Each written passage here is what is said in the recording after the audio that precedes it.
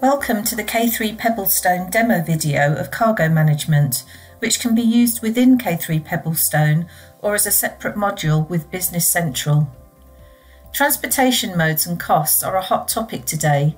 With K3 Pebblestone cargo management, you can track your freight costs, be it by land, air, water, or rail.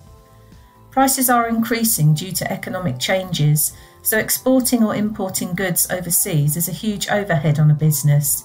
With K3 Pebblestone Cargo Management, you can use insights to be able to make changes, be flexible, but have system controls to benefit your business. From the creation of a purchase order, you can link packages, be it boxes, pallets, or containers, which in turn are linked to a journey or route, so you know exactly where the goods are in every stage. You can also stipulate the main route, such as sea journey. With K3 Pebblestone Cargo Management, if something delays a shipment at any point, you can easily adjust the dates in a cargo document, auto update the purchase order details, and inform customers to maximise efficiency, and reduce costs later down the line by changing logistics requirements and bookings, a key area for a business in decision making as it can determine profit or loss. Once the shipment is received, you can receive it directly from the cargo management document without the need to use the receipt worksheet if applicable. Navigate to Logistics, then Cargo to access packages, cargo documents, and cargo routings. Cargo routing lets you determine the main stages of a cargo route. For example, factory to harbour by road, ship to destination port by sea, and making this the main routing step to the warehouse. Packages can be easily created by adding items directly from purchase or transfer orders, or package content can be created manually or imported from Excel.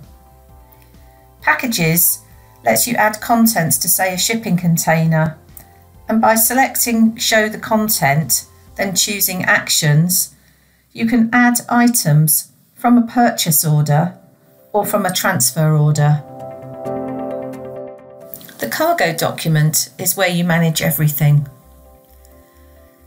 The general section gives you information about the shipment itself, including the vendor, where it's going to, for instance, main warehouse, and the status. The routing lines, so route descriptions, transport mode, transport name, departure and destination ports, duration in terms of days or months, with dates being auto calculated after estimate time of departure is added, and the main routing step, which typically is the longest part of the journey. So, in this example, sea voyage. Then you add the cargo lines. Select the package, e.g., box or container, from the list by clicking on the three dots, or it can be imported by Excel using the function at the top of the form. You can print single or multiple labels for packages as well.